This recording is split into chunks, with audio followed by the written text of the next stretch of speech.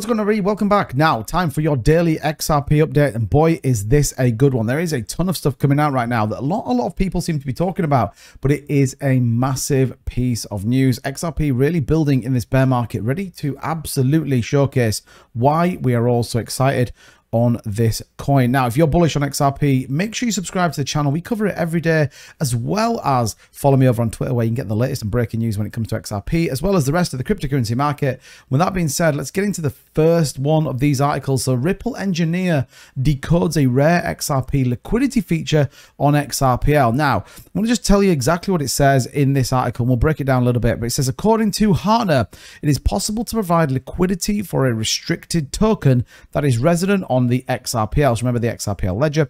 By restricted token, he meant digital assets that require a trust line to authorize its usage and by this allowance, this feature makes the XRPL automated market maker a more flexible entity than any other in the industry. Huge, I'll repeat that. The XRPL automated market maker is a more flexible entity than any other in the industry today. Fantastic news. And again, this has kind of been born out of Neil Hartner, the engineer at Ripple Labs, looking into the XRPL ledger. We know this will fundamentally cause the cross-border payments. We know that it's going to go into the institutions. And I think it's a massive step and certainly one that is very, very welcome he does break it down a little bit further here in terms of what that kind of could look like. And ultimately, again, just allowing people to build on XRPL, really bringing a use case for it. And I think it's a fantastic development, one that a lot of people do need to hear about. Again, Hartner was quoted by saying that it's an exceptional liquidity rebalancing. And the suggested protocol is indeed one of its kind. Per his interaction with his followers, Hartner presented the XRPL as a smart contract network that can accommodate users with varying investment interests big news. Now, developing further on from that, the XRP lawsuit.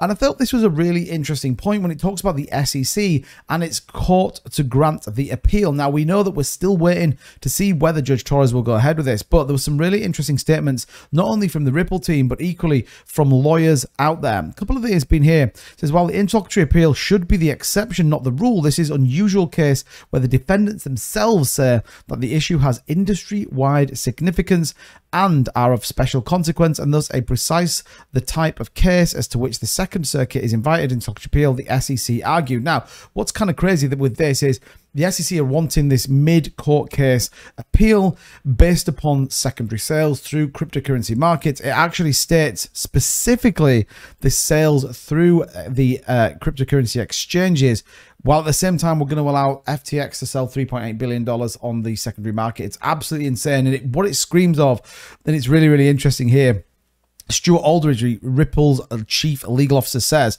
it's another SEC filing, another hypocritical pivot. After years of its chairman saying the rules are clear and must be obeyed, the SEC now cries that an appeal is urgently needed to resolve these knotty legal problems. And he couldn't have said it more important himself. You take a look at the price. We've just seen a big sell off in the market. Bitcoin dropping to about 26,478.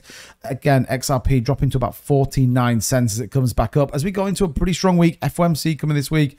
But what is very interesting when we talk about XRP as well as the rest of the cryptocurrency market is if you want to head over and grab yourself a trading position on Fairdesk, there is a link in the description. You equally can come and follow me. There I am, 2Bit Crypto. There you can see three people currently following it. We've got 29 trades. 83% is our win ratio for the last seven days with $122 profit. We're in a couple of short trades right now, so that'll definitely change. But check out the link in the description. Head over to Fairdesk and sign it off. But I want to talk about ChatGPT really quickly before I get into this next article. But what does it say? It says an AI model brims with encyclopedic data and can use vast knowledge of historical cryptocurrency markets to make potentially accurate predictions. That is a view of ChatGPT. It can pull resources from everywhere. So when you start talking about ChatGPT talking about a two to three dollar XRP by the end of this year, well, you kind of stand up and listen. Now, you've always got to take price predictions with a grain of salt. However, when you think about where we're going with the SEC case, you think about the FTX selling off, you think about the fact that we've seen loads of new innovation coming out of the XRP ledger, as well as the token itself. A two dollar,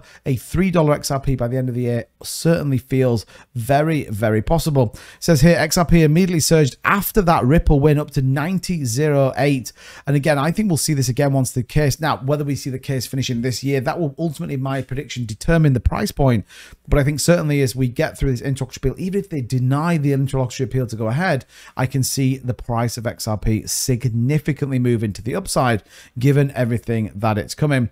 You can see there how ChatGPT says an AI solution can certainly be used to obtain clarity, specifically ChatGPT's open AI sourceware and generative AI models. So again, take it with a pinch of salt. If we take a look here on the chart and we kind of take a view of, okay, where would a dollar be as an example, taken from where we currently sit, it's about a 100% move from where we are and about 200% up to that kind of higher point that we get. Is it possible? Well, you think about there's a ton of things coming. There's a lot of hype ready to instill into the market as well as institutional investment. We know it's there. We know hedge funds are driving this price down. They want to get into a cheap price. All you have to do is look at the wider cryptocurrency market and see exactly where we are. We're back down to 1.05 trillion after those heights of about 1.2 with a lot of the coins that they want to get into taking a hit. Ethereum, XRP, Cardano, Solana, and many others all down waiting for that investment to come in. Now, like we said, FOMC this week could be interesting. We could definitely see some moves up on XRP, but like I said, head over to the Fairdesk,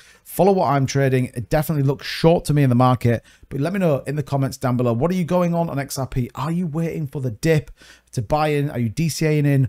Or are you all in expecting a strong move? As ever, thank you so much. Don't forget to subscribe if you want to get today all of your latest in XRP and cryptocurrency content. Leave a like on this video, and I'll see you guys all in the next one. Bye-bye.